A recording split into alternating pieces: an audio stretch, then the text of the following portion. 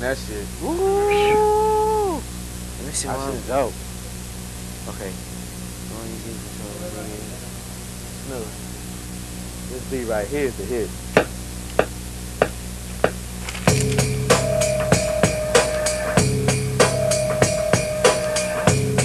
Put some shit on it.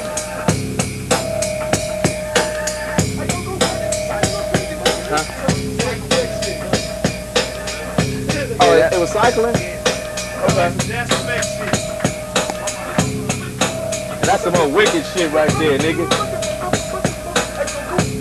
Um, just out to make a little bit of money. We wasn't serious. I mean, even at the beginning of NWA, we wasn't that serious. We wasn't. I wasn't serious with it until we got picked up by um, a major label. Right. You know, at the beginning, we were just let's make a record, sell them out the trunk, and get us some ends to eat.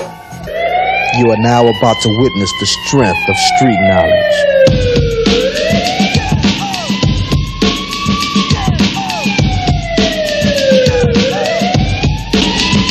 We back, on, we back on the past right now. You know, this is what we're talking about the past.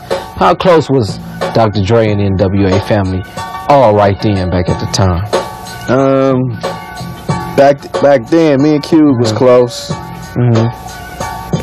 Um, everybody was everybody was kind of close. We were in the studio because that's where we spend most of our time at. We go in the studio and we there for like eight to twelve hours, Mhm. you know.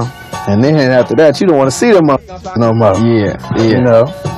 But um, we used to hang out every now and then. Early in the morning, hop into the B&Z. I got 44 ways of getting paid. Sitting in my lap as I roll up the Compton blocks. The scoop was red, I heard shots.